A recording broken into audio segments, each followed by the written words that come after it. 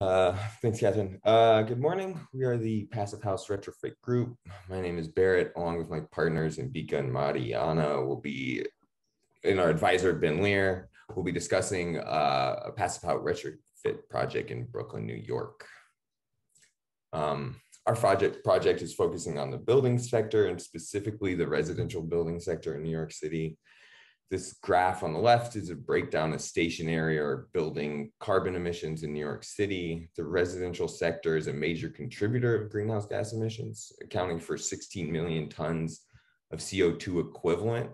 CO2 equivalent is a way to convert all greenhouse gases based on their global warming potential into a standard unit.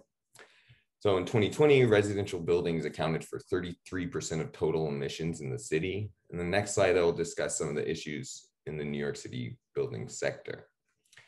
Most of the building emissions come from a small number of large buildings emitting the same amount of greenhouse gases as a large number of small buildings. This is a problem. In addition, uh, in New York City, there's an aging building issue with the average date of construction being around 1939 as well as an aging building stock. There's a lot of masonry buildings, which were easy to build, hold structural load well, but are often poorly maintained. And with age and poor maintenance, lead to lower performing buildings, which lead to increased energy consumption. This is the reason why we picked a New York residential building for our retrofit project. Ambika will take it from here to talk about current building codes and laws pertaining to these types of buildings. Thank you, Barrett. So New York City has local law 97 and local law 87 uh, to address, uh, local law 97 talked about uh, to address uh, um, 25,000 square feet building for uh, greenhouse gas emission through operational energy. And local law 87 address about 50,000 square feet uh, buildings that has emission of um, carbon dioxide. And they set the goal of 50% by uh, 50% uh, by um, 2030 and 80% by 2050. On the right side, you can see that carbon capping, uh, they are doing uh, by rounds till round five by 2050. And we, we followed some baseline standards and rules, Title 63 Energy Conservation Code and SRES standard for doing retrofit in our building. Now Barrett is going to talk about how we selected our building. Great, thank you, Ambika. We wanted this project to be replicable. Um, so prior to picking our building for retrofit, we performed some initial analysis using NYC open data. We were able to understand some characteristics of New York City buildings. Here are some results in terms of averages in the top left. And after looking at these results, we were able to set up parameters for the building when we would like to retrofit. Using the parameters listed in the bottom left, we were able to find 39 over 39,000 buildings that fit the criteria. In the right, you can see a heat map of the locations of the building for which are fit our parameters. 228 Washington in Brooklyn was picked because our capstone supervisor was able to get our baseline architectural drawings. Thanks, Ben. Um, but most importantly, the building was fit our parameters. In the next slide, we'll provide some additional information on the building. Um, 228 Washington Avenue is the building we're going to use as a baseline to apply our retrofit design to. Um, 228 Washington does not fall under any of the local laws, and so it is a perfect candidate for our parameters. It is a smaller, older masonry building where we will be able to reuse some of the building materials in the retrofit process. Um, 228 Washington is in the Clinton Hills Historic District, and this means that the building has some restrictive measures regarding remodeling the outer facade. We will go into more detail on this when we discuss our wall assemblies. I'm going to pass it to my partner Mariana to discuss passive house design and how we apply it to our retrofit as a way to improve building performance. Thank you, Barrett. So when we talk about buildings, we know that the whole system consumes a lot of energy to keep it comfortable and a healthy internal environment, mostly from fossil fuel. So here is where we introduce the passive house. It's the most strict method of operational carbon, uh, operational carbon use and energy efficiency. Uh, this is a construction concept, a building certification, but it's also a methodology of how we build buildings. And when you look at this image here, uh, it's about making a really airtight, insulated uh, and durable building with no heat exchange. Passive house is based on building science. So these are the five main practices uh, where we have a super well insulated building as a continuous layer wrapping the whole building envelope, high performance windows, a continuous airtight layer inside of the building, a design with thermal, thermal bridge free, uh, which is any kind of penetration within the thermal envelope that allows energy to move in and out of the building. And lastly, the ventilation with heat recovery, uh, where we essentially use the exhaust air to preheat the supply air to get it around uh, room temperature. So in this graph here, uh, it shows how much energy is being reduced when we apply all the passive house standards. And compared to a building, uh, a standard building, the total energy used by a passive house is 75% less. It is 90% less heating energy and 80% less cooling energy. And here on the right side, uh, we have an image of a HERS index, the home energy rating system, which analyzes the energy efficiency of buildings. Uh, we can see different standards in terms of energy performance like LEED and Energy Star, and the passive house performs much better. Now I'll pass over to Barrett again. Thanks, Mariana. She did a great job introducing Passive House as a way to reduce operational energy and in the process lower operational carbon emissions. As you can see on the left, there's nearly a 50-50 split between operational carbon and embodied carbon emissions of a building. Embodied carbon is the greenhouse gas emitted during the production, harvesting, transportation, and disposal of materials. Passive House addresses the operational carbon emissions during occupancy, however, leaves embodied carbon unaddressed. For this project, we were analyzed different construction assembly materials as a way to lower embodied carbon during the retrofit process while still meeting the passive house standard. This will take the form of four different building strategies where we pick building materials based on assumptions of their embodied carbon. A high, medium, and low were produced for replicability, as well as a historic retrofit strategy based on the location of the building in the Clinton Hill Historic District. Um, we will then perform analysis on the four different building strategies, calculating their actual embodied carbon. In addition, our project will be evaluating material from cradle to site, which is a way to calculate carbon emissions from the production through the delivery to the site.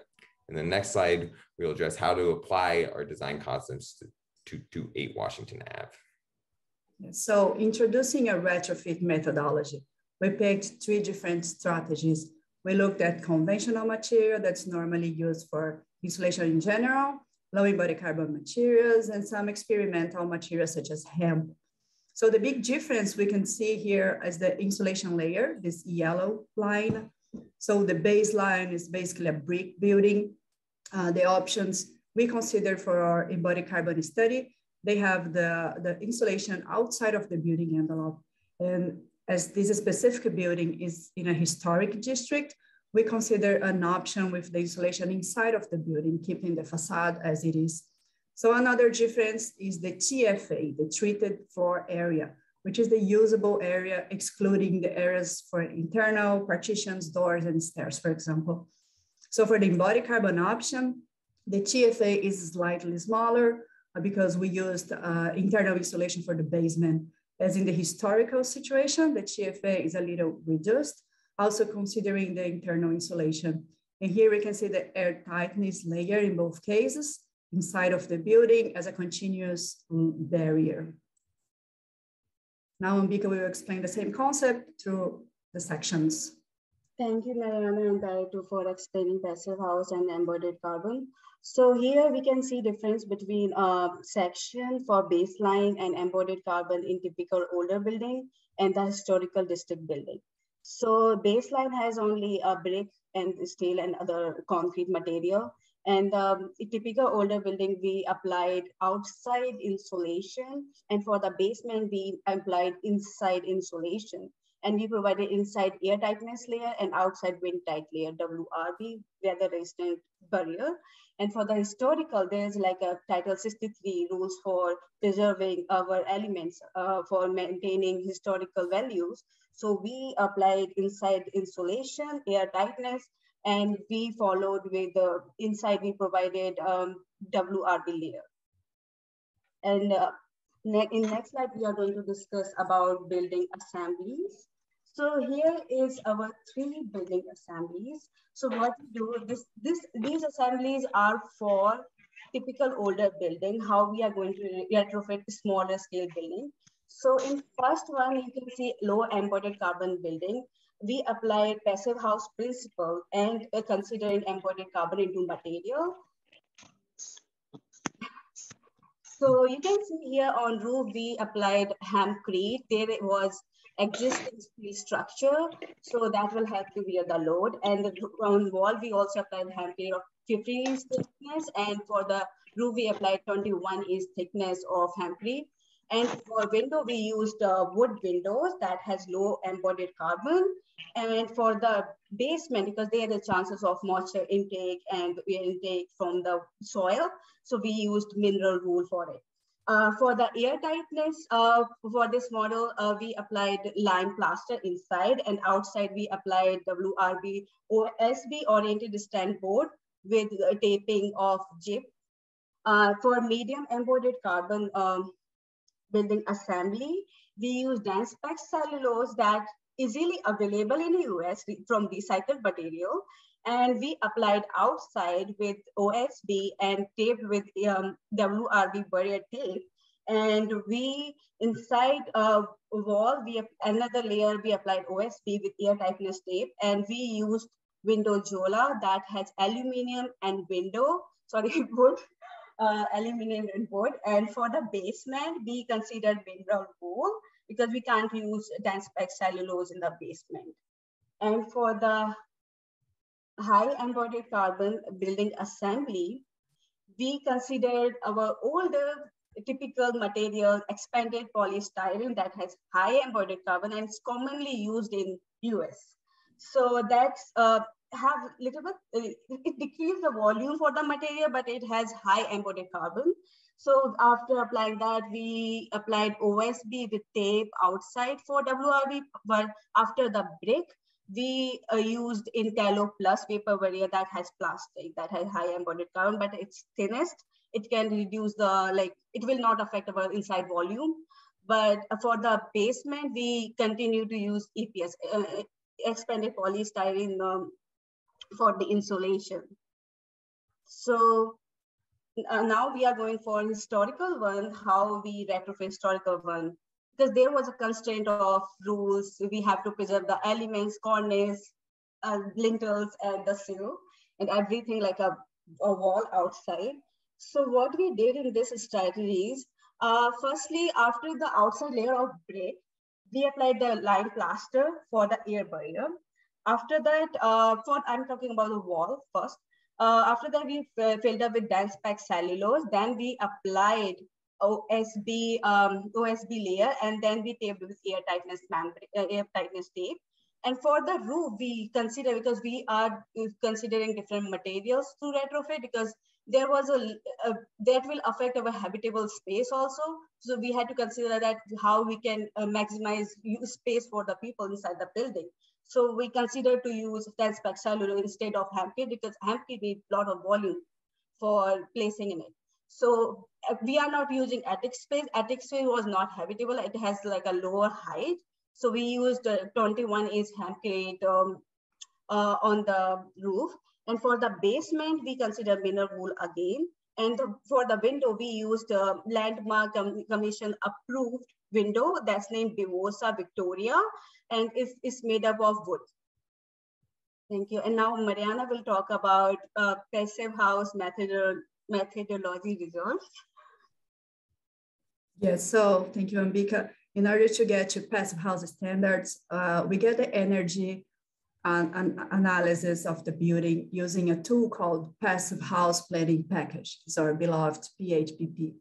So this energy model looks at areas, walls, windows, considering their orientation, all the different materials we used uh, for each analysis, and it generates this table uh, showing the heat and cooling demand of the building and showing if uh, by using all these strategies, we get to passive house or not. So this is the baseline results. We have the heating demand, the cooling demand. This is the passive house criteria. As, as we can see, we don't have a passive house here. But here we can see the results for low embodied carbon option, the heating demand, the cooling demand. Uh, and with these results, we achieve the passive house criteria. So looking at all the results, uh, we can see they are slightly different in terms of energy demand and all of the inactive passive house. And just to remember, we had this number as our baseline. So uh, by applying passive house methodology, the energy demand reduction is huge. And just to make it a little bit more visual, uh, this graphic, uh, we have the same results showing the yearly general energy demand for each study, combining heating and cooling demand. So this yellow curve would be our heating demand, basically showing the months when we would need to heat the building. And the blue line is the cooling demand as the summer season when we would need to cool down the building. So it doesn't say much until we compare it to our baseline. Here we can see the yellow bars are the baseline. So uh, it's super clear how this energy demand reduction is big. It's, it's quite beautiful actually. now Barrett. Thanks, Mariana. Now that we've established that all of our building constructions and wall assemblies were able to meet the passive house standard, we need to calculate the carbon for each of our, the embodied carbon for each of our construction types. Uh, to do this, we use the inventory of carbon and energy database. The ICE database was created in 2011 at Bath University in the United Kingdom as a way to track embodied carbon of building materials. The database is composed of nearly 200 different construction materials and their embodied carbon values of kilograms of CO2 equivalent per kilogram of material produced. Using this database, we were able to calculate based on volumetric measurements of our building material, how much embodied carbon is in construction. Couple this with transportation carbon calculator um, from Carbon Care, which is based on a European standard for energy consumption and carbon emissions from transportation. This standard uses weight, transportation vehicle type, and distance to calculate emissions. The number we'll be using for this project is tank to wheels, which includes the carbon emissions of the vehicle itself. Here are a couple examples of 100 kilograms transported. The first one is from Europe, and the transportation emissions uh, count to 53.9 kilograms. And compared to the transportation emissions from Maine to New York, which is roughly 50, or 14 and a half kilograms of CO2 emitted for the thousand kilograms. In the next slide, we'll see a combination of uh, the tra transportation of the three construction assemblies. Here's a matrix of our three different assembly types based on their carbon emissions from transportation. The transportation emissions from the low embodied carbon was significantly higher because we were importing um, hemp from Austria and the hemp blocks are extremely heavily. So there's a large weight to import um, the high embodied carbon construction assembly transportation carbon emissions were the lowest because the material used was able to be locally sourced. For example, the insulation came from Buffalo, New York, and the windows came from Colorado. So we're we're now able to uh, here's visualizations of the embodied carbon comparison of our three different wall assemblies. In the low wall assembly, we can see that there's a negative value. This is actually accounting for carbon sequestration. Carbon sequestration is the capturing and storing of atmospheric carbon dioxide. Um, the, the medium carbon has the materials that sequester carbon as well.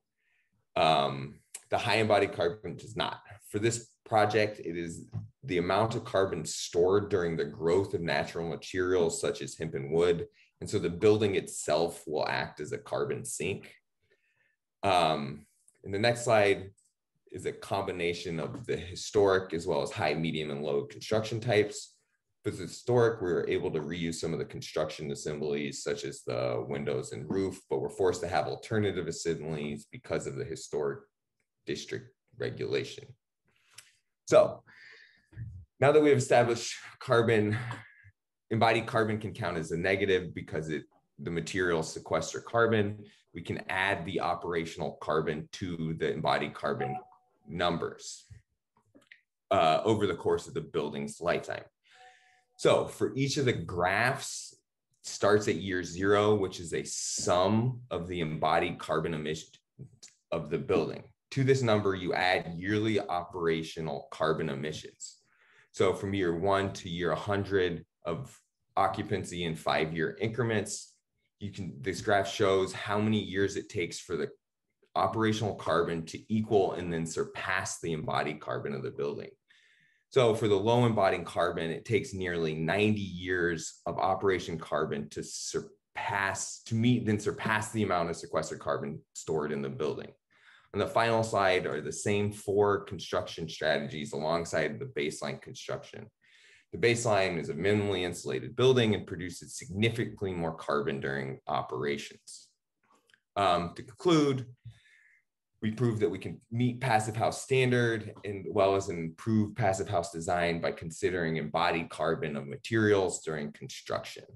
Um, and that concludes our presentation and thank you for listening.